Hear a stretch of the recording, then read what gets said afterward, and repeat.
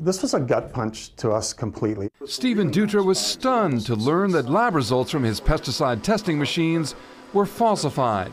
He says the former lab director at Sequoia Analytical Labs admitted the fraud after a surprise visit last week by state inspectors. When they asked the lab director uh, where his data came from, he honestly told them, I faked it. Fake data involving 22 out of the 66 pesticides typically tested on cannabis, with more than 700 lab results over a four month span now in question.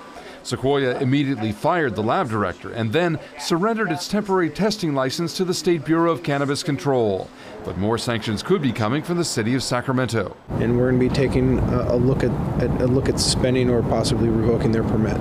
The temporary loss of a testing lab comes at a time when consumer demand for cannabis products continues to grow.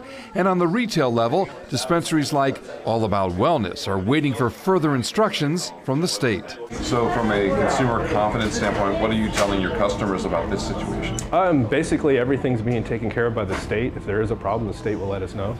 But the Bureau of Cannabis Control has said nothing publicly about any possible recall of the marijuana samples in question.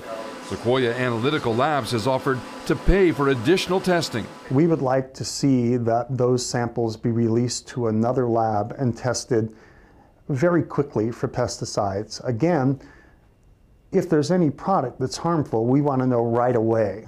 Dutra says that typically just 3% of all cannabis samples tested actually fail because of pesticide exposure.